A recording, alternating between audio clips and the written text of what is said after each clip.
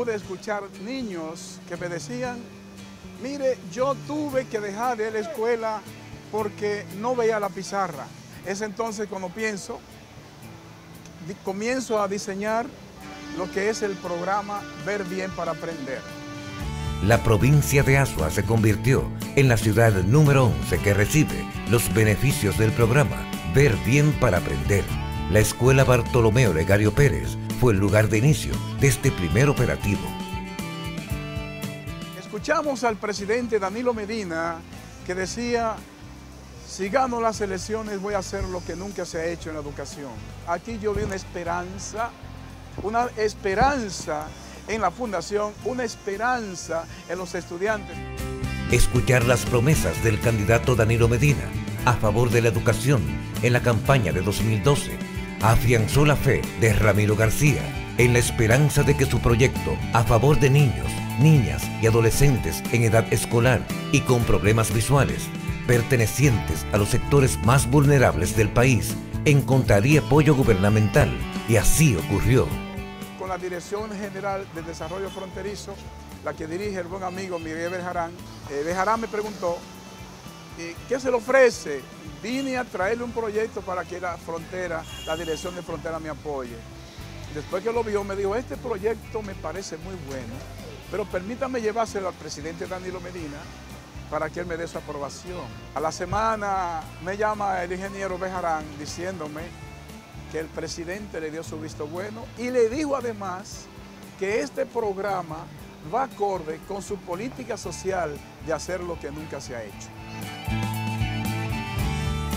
Entonces nos pusimos de acuerdo con, el licenciado Gené Jaque Gil y él me dijo, yo voy a apoyar este programa porque eso es lo que yo hago trabajar por el bienestar de los estudiantes. La Fundación Ramiro García en 10 provincias aportó un 17% de la inversión y el INAVI se comprometió entonces a aportar el 83%.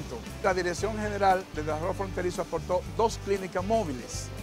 Nos unimos tres fuerzas para implementar un revolucionario programa innovedoso llamado Programa de Salud Visual Ver Bien para Aprender.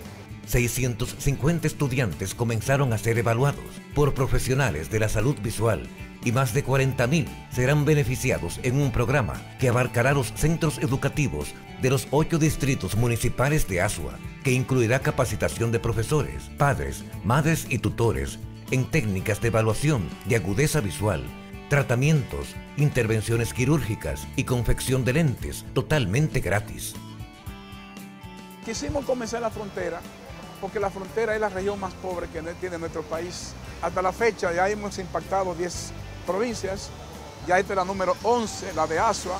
En esas 10 provincias nosotros pudimos examinar 206 mil estudiantes de la vista, ya eh, entregamos más de 20 mil lentes gratis a los niños, 228 eh, cirugías oculares de estrabismo y párpados caídos, así como también más de 20 mil padres que fueron entrenados para conocer cuáles son los problemas visuales que afectan a sus hijos. Estamos en ASO en estos momentos trabajando, el cuerpo de optómetras, oftalmólogos y el personal de apoyo en estos momentos están trabajando, examinando la vista a los estudiantes de ASUA y ya las jornadas de ASUA comenzaron el día de hoy, las cuales se van a extender a todas las escuelas públicas de ASUA.